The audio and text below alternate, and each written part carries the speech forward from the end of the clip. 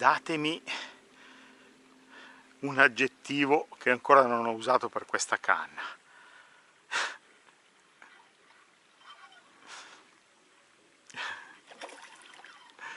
Pesci ormai sospettosi. Ho dovuto infilare, avete visto che ci ho provato, mi sono anche impigliato un paio di volte su quei rami perché dovevo arrivare proprio il più a filo possibile per riuscire a stuzzicare un pesce. E ho stuzzicato una delle più grosse.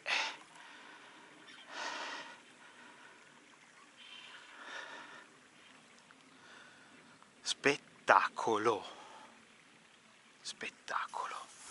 Spettacolo ragazzi. Ne ho già presa una ma questa mi sa che ve la faccio vedere prima. Mi piace mi piace la storia, mi piace sto pesce. Ce n'è un'altra che sta girando qua. Non pensavo eh, di riuscire a incannare anche la, il secondo pesce, via dai rami, via dai rami. Via dai rami.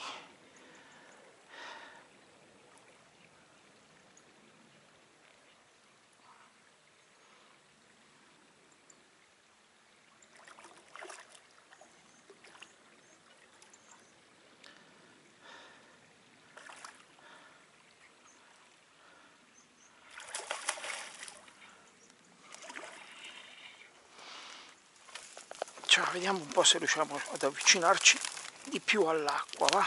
La prima l'ho tirata su qui ma era un pochettino più piccolina e ce l'ho fatta.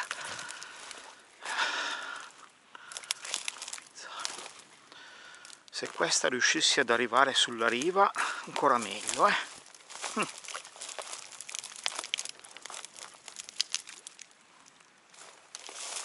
sì ce la faccio dai.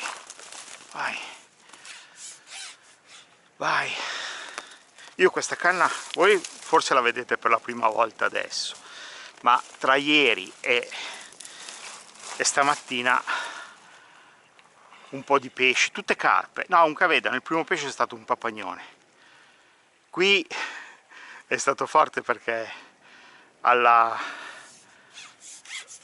appena ho lanciato un, si è avvicinato un papagnone, è andato a mangiare e gliel'ho tirato via dalla bocca. Ho visto proprio che quando l'ho ferrato si è messo a mi ha rubato un, eh, un lombrico, si è messo a mangiare il lombrico. L'acqua è talmente chiara che si vedono queste cose. Guardate che bella. E vi dicevo che questa canna qui, nuovissima, me l'ha portata qualche giorno fa Daniele, una serie, se fatta, lui se l'è fatta mandare. Eh, se le fatte spedire le ha comprate soliti siti. Lui quando vede qualcosa di strano che potrebbe fare al caso nostro fa che faccio le prendo ma sì dai prendile le vediamo. Infatti mi ha portato la 5,40 6,30 che è questa vai. 6,30 che è questa che tra l'altro la 5,40 è misurata quando è arrivata a 5,20 quindi un pochettino meno rispetto all'originale mentre questa 6,30 è, è quasi 6,5 quasi 6,50 è uno spettacolo vi dico che è veramente una canna strepitosa. Costa un pelino più della massima però siamo comunque a dei prezzi eh, irrisori ed è qualcosa di spettacolare. È il peso è simile a quello della massima tradizionale però la canna è più rigida.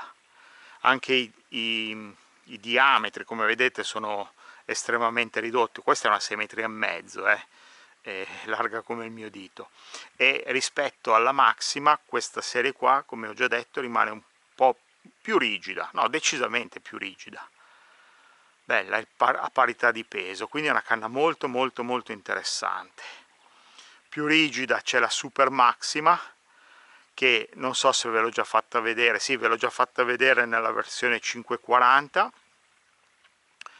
e adesso sono arrivate altre misure e sto aspettando, quella l'ho ordinata io, la 9 metri, perché della super maxima oltre alla 9 metri non la fanno, però ho già verificato che le misure sono superiori a quelle dichiarato solitamente, o, o precise o, o, leggermente superiori, quindi dovrebbe la 9 metri della, della super maxima dovrebbe corrispondere a una lunghezza effettiva, dovrebbe uso il condizionale perché ancora non l'ho verificato, dovrebbe corrispondere alla massima 10 metri, ovvero la massima, la super maxima da 9 dovrebbe essere lunga come la massima da 10 e quella lì io ho già provato la 8 con lo 0,33 in una situazione difficile con un siluro 8 e non ha detto beh la canna. Anzi anzi spettacolare.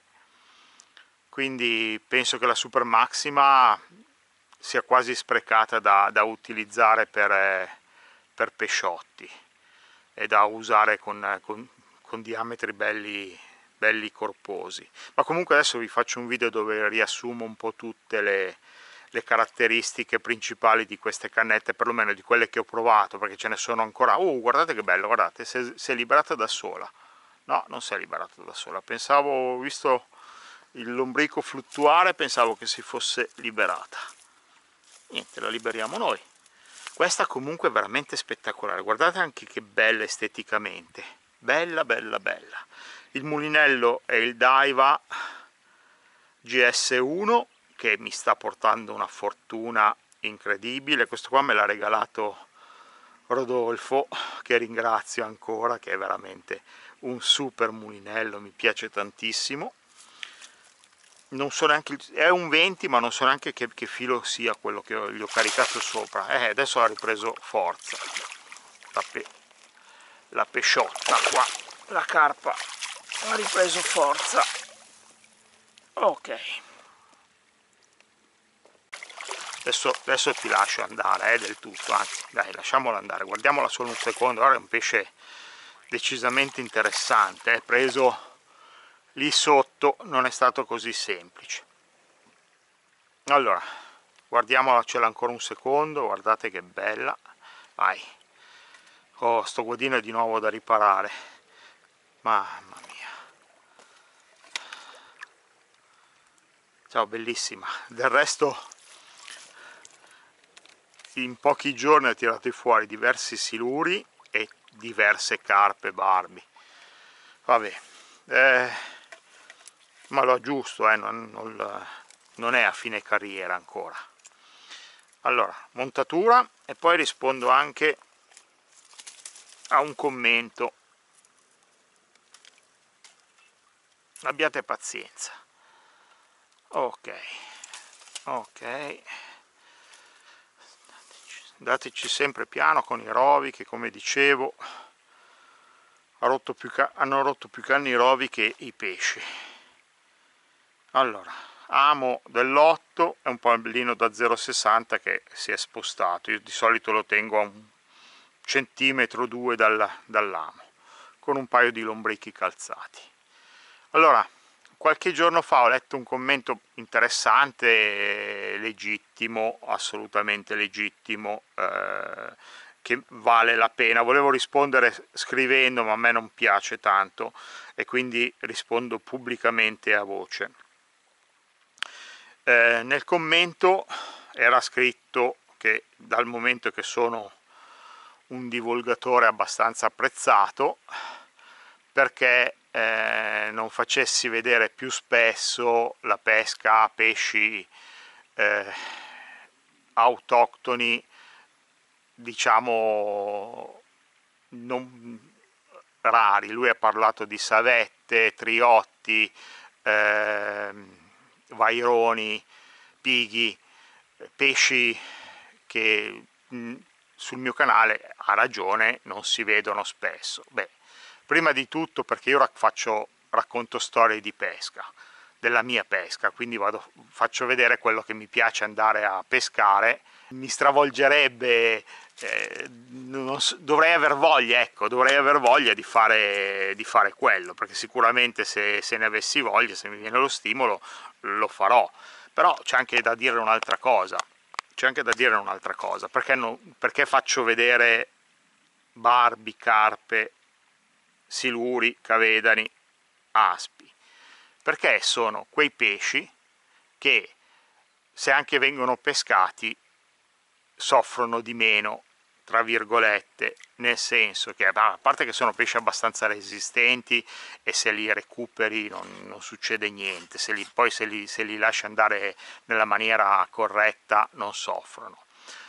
Eh, non soffre la specie in genere perché comunque sono pesci molto presenti eh, che sicuramente non hanno, non hanno pericolo di estinzione, quindi preferisco far vedere, invogliare la gente a pescare questo tipo di pesce che non soffre, che, piuttosto che andare a cercare pesci che hanno qualche problemino a, a restare al mondo come specie è così, spero di aver risposto. Sicuramente comunque, a parte il fatto che qualche pighi, eh, gobbioni, eh, sul mio lasche qualcosa si, si, vede, non è escluso che, che, qualche uscita in più a galleggiante con l'eschetta piccola potrei farle, farvi vedere eh, pesci insoliti per il mio canale, ok? Adesso riuscire a stuzzicare un altro pesce qua è praticamente impossibile, però io ci provo.